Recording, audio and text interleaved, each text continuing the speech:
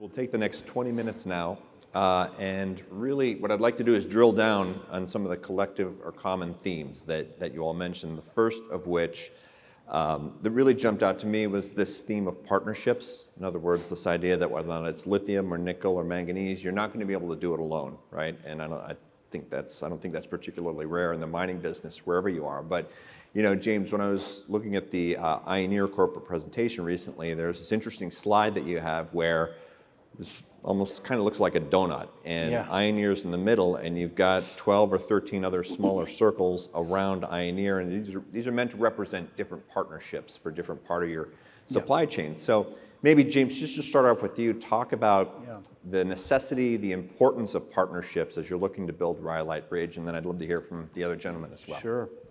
Thank you for bringing it up. Uh, uh, back to technology, I mean, you, you when you're trying to build a very large, sophisticated operation like this, you, you, you need a lot of talent, mm-hmm. okay?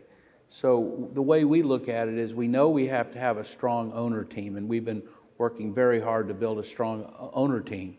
We also need to have a strong equity partner that can help us in areas that we need assistance. So Sibanye Stillwater was a terrific partner for us, and they came in on, on a common equity basis. But for the last six years, we've had a circle of people like, well, Fluor Corporation obviously has been our EPCM. They did our definitive feasibility. They're going to be the EPCM when we start construction. So continuity there is very important. You know, we brought in Veolia has been working with us for all the way since mm-hmm. the pilot plants and in there in the pilot plants. FLSmidth, the same thing with that. ABB is more recent, but been several years they've been working with us. So the quality of the people that you surround yourself with is critical. I mean, you know, when you're a young company, you, you can't possibly muster all those talents. So we, we think of these as, as part of the family, and, and we treat everybody with a lot of respect. We, we listen very hard to their ideas. And fortunately, now, with the continuity of, of this team, uh, we, we, we have high confidence now in what it's going to take to build it. And look, this industry does not have, the lithium industry, does, and some people have mentioned that earlier, doesn't have a particularly great track record of getting these things done on time and on budget. And you know, we, have, we, we think that part of that has to do with really having the right people, mm-hmm. having the continuity of those people, so that when you go to build, you really know what you're talking about. And, and that's what we've done, and, and our partners are very important to us. Sure. Henry, relationship with Rio Tinto, just curious on your thoughts on partnerships and how you leverage a lot of, of the exp- experience there. Good question. Um, I have Rio Tinto uh, in the room. Um, we, we have been partnering with Rio Tinto for quite a long time, and I think we have the nimbleness of a small company like ourselves. We've gone from five people to 91 people in about 18 months. Wow. Um, Rio Tinto has been instrumental in coming to site, supporting us, helping us uh, we are meritocracy, so we're looking for the best ideas. Uh, we put that on, on the table um, as recently as five weeks ago. We intend to send, um, I think, about 11, 12 people to site. And we ask Tinto to take, take our plan apart. I think the statistic is the average mining project is over budget by 137%, something like Sad. that. Yeah. Um, I think that's kind of lowballing it. Um, so so I, I, I, think it's a really good combination between a very large company with a lot of experience thousands of people, and we are 91 people. Sure. Um, I think maybe I can mention also we we are um, a uh, we have signed a contract with uh, Tesla. Um, yes. I don't know if Turner is still in that room. Um, I went to Tesla back in April 2019 with this crazy idea about creating a U.S. supply chain from the mine to the battery for nickel. Um, they were way ahead of me. Uh, fast forward, we signed a, a deal with Tesla whereby we provide an offtake of US nickel con. Uh, what I didn't, didn't see coming was 45x uh, mean, back in the day. So you have to take US nickel into 99% plus.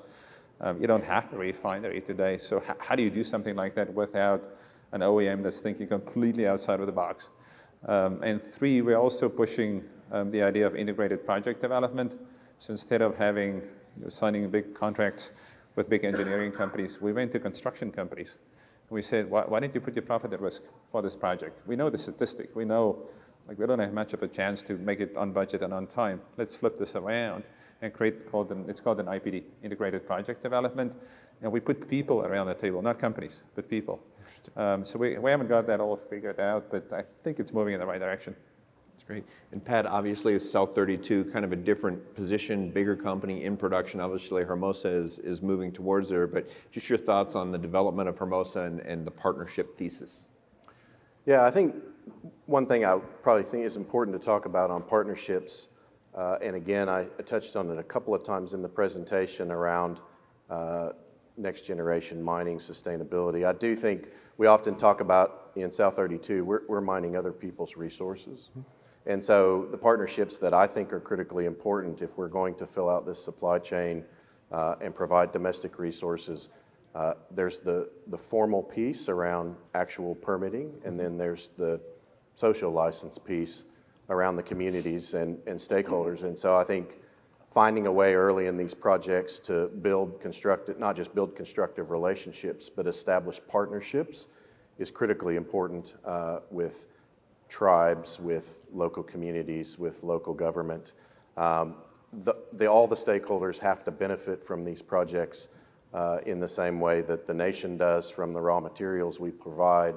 Um, or, and if they don't want us there, then, then, then that's a challenge. That's going to be a challenge for us to, to build out the supply chain. So I think there's the formal permitting process, but the industry being really good and committed and genuine around forming partnerships with stakeholders, communities, tribes, I think is going to be another key element if we're going to develop projects like this successfully. Sure. And so the state level, that, that license, if you will, I completely understand that without that, you know, you don't have anything, never mind permits. But question for the three of you, you know, there's so much talk about the Inflation Reduction Act and NEPA and trying to get sort of federal level permits. But what about what experiences you had in, in Arizona and you know other parts of the of, of the country with state level permitting? Is it easier? I mean, are these state level officials trying to make it easier for you guys to get where you need to go, or what are the sort of the differences on the state versus the federal level? Maybe Pat, if you want to start. Yeah, I think it varies highly by state. I think we're fortunate Arizona is a really a jurisdiction that's really supportive of mining. It's had mining for a very long time. Uh, the state agency is very efficient. Mm-hmm. Uh, it runs very smoothly. Uh, we we get our state permits in sort of 12 to 15 months. Um, so yeah, I think that that's not uh, not a risk that was a high risk for projects like this. Um, I do think the litigation on the back end, which is a challenge both on the federal and state level, is probably a common risk that we all have. But um, in our jurisdiction, the, uh, the state permitting processes have been, been very smooth. And, and that's really all we need on private land to move forward. And that's one reason why private you know, land, things sure. have gone quite smoothly there. Sure. Henry, your thoughts on state level sort of approaches and, and interactions, please. We are on state land um, to begin with. Um, I, I, think uh, it's the, the permitting before the permitting that's important. I, I, I think the mistake people sometimes make is propose something to the state that's just not going to fly. Um, and I, I, just find that if you go back and you actually go through an iterative design process and make the mistakes on paper, like you can make as many mistakes as you want, just get through it very quickly, fail fast. Um, so that, you know, from that point of view, the state has been extremely cooperative with us in the pre-permitting process. We, in, in, two or three weeks from now, will be going formally into the environmental review process. But that's on the back of about 14 months of designing, redesigning, going back, thinking again. We even split the, the mine from the, uh, the actual processing mm-hmm. to go to a brownfield site. Um, what we thought 18 months ago, if we did not have the state cooperation, if we did not take the community, if we did not listen to the community, if we did not listen to the sovereign nations around us, the project would not look like it looks today. So no, I, I, I, I think, um, again, there's a lot of criticism against state processes. We find it to be extremely useful Great. if you actually listen. Great.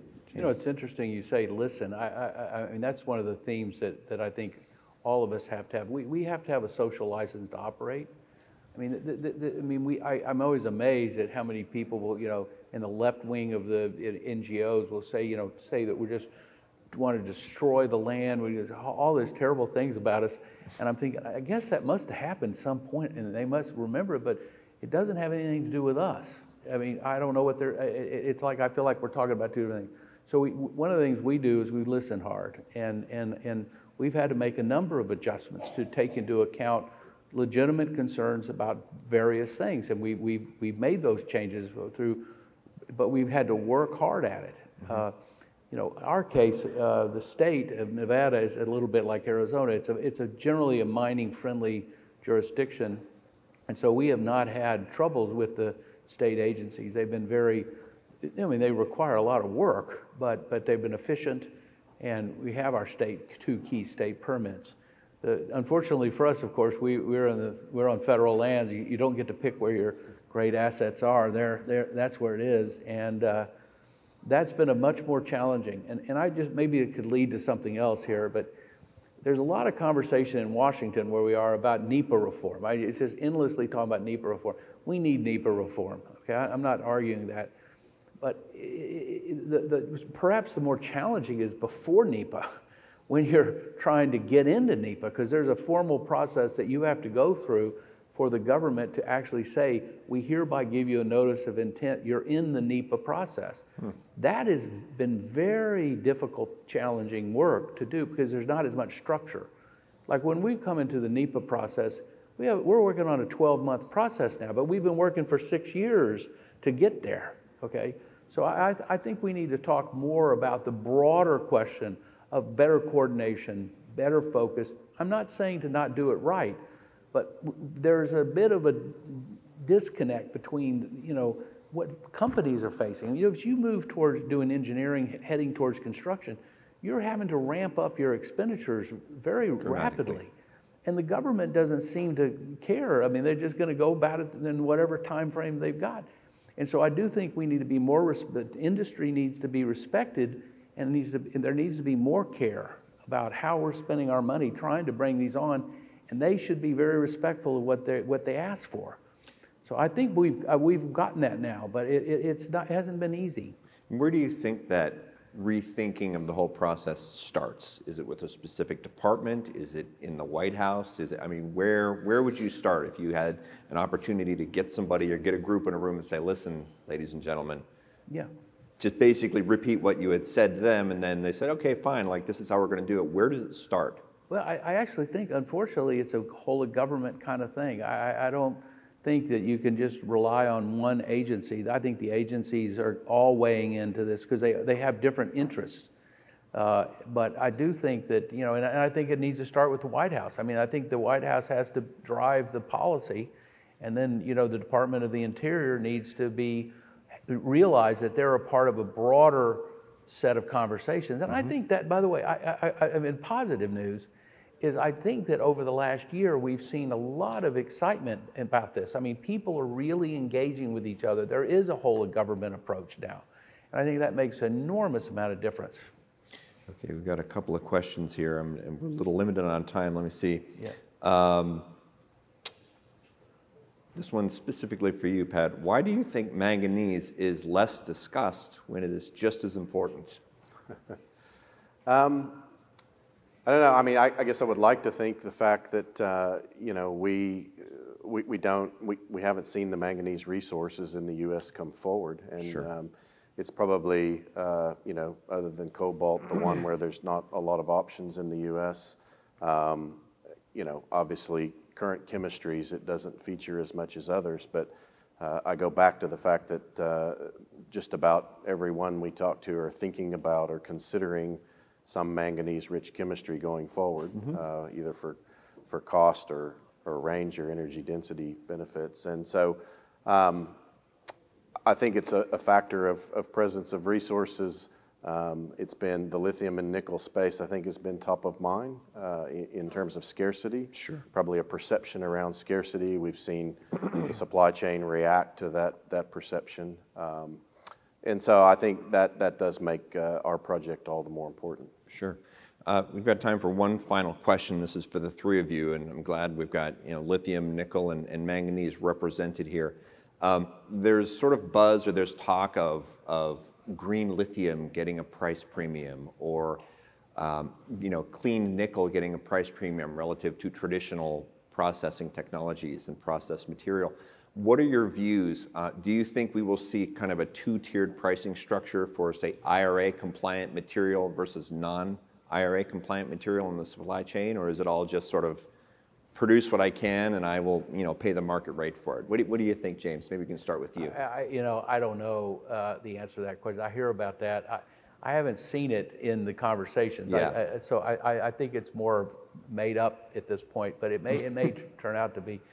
But what I will say, though, is that they are very, it- people are very, that our customers are extremely interested in our green credentials. I I haven't, I haven't seen them anybody say, you know, I'd like to give you a little bit more money for that, but I, I definitely think that they're very interested in it. And so we are, and we're interested in it because that's what our business is about. So I, I don't know. Some people think so, I don't know. Yeah. Henry, any thoughts? I don't know. But Yeah. what I can tell you is um, if you look at the typically nickel is a percentage of LME. So I cannot predict anything LME. But I think if you have a, a green or clean nickel, your percentage of LME that you get paid, um, take it's public information, IGO and BHP, um, there's a steep premium in that payable for the nickel. So we, I, I think we see that already in the world of nickel. LME, I don't know. All right, yeah, the nickel question on the LME, I think, is still being resolved, maybe, or being considered. But any, any thoughts on pricing before we end? I, you know, I think it remains to be seen. Yeah. Uh, We, I didn't mention before, we have two MOUs with potential manganese end users that have plans for facilities in North America um, and are in discussions with many others. And I, I don't know about pricing, but what I would say, I think part of the intent and the need to reshore the extractives part of the supply chain is for higher ESG standards and enhanced sustainability. So whether it factors into pricing or not, I think remains to be seen. But I think undoubtedly, we're going to have to meet a standard. You know, there's talks about IRMA and, and other, other options maybe for a standard. Uh. And I think that is, that is going to be part of, of what we will need to achieve, uh, and an important part of why Right. uh, we can domestically produce, you know, we can domestically produce these resources more sustainably, uh, but there, there, there will likely be some sort of standard like that. yeah, totally agree. Well, listen, we are out of time. I just want to thank you all for your, your presentations and your, your insights here. Great, thank you. Thanks.